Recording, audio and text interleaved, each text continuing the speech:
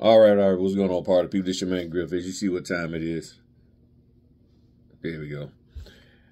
I'm spent. Me and the wife just got home about five minutes ago. Just finished my um, scans. Getting ready to upload those. I got two sets to print out tomorrow. Two doc, you know, two closings tomorrow to print out. And um, I'm at 28 closings for the week. Um, after the two I do tomorrow. Three days I did not in a row. One day, then two in a row, I did six signings. So Monday I did six signings. Wednesday and Thursday I had six. Um, today would have been five, but one of them got canceled. So I would have been at 29. Um, I was trying to hit 30 again. But yeah, I'm I'm tired and I need to eat. I only had a fritter this morning, a banana, and some granola later in the afternoon. So I'm surprised I made it this far. Um, so I got me some chicken teriyaki, a bento box, and I'm gonna eat that, and um, and just kick it with the wife and just talk to her, and um, and then come back up, print my documents, and go to bed and get ready to knock some more out tomorrow. Plus, I got house inspections to do. I got um, I think seven, eight on the books for me to do, so I gotta get those taken care of.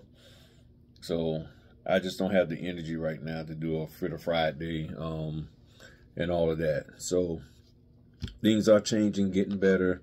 It's getting busier out there. Um, if I have another 30 closing week, it's going to be interesting. Now, right now, I only got one, two, three, four for next week.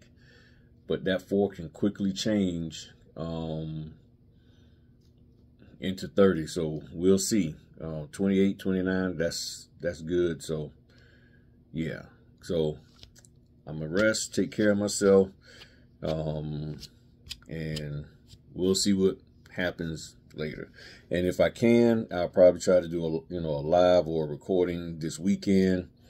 Um, if I can find some I, I still got to get with my channel members because we got to figure out when we can meet because it's football season now, and I don't like trying to do meetings during during football time.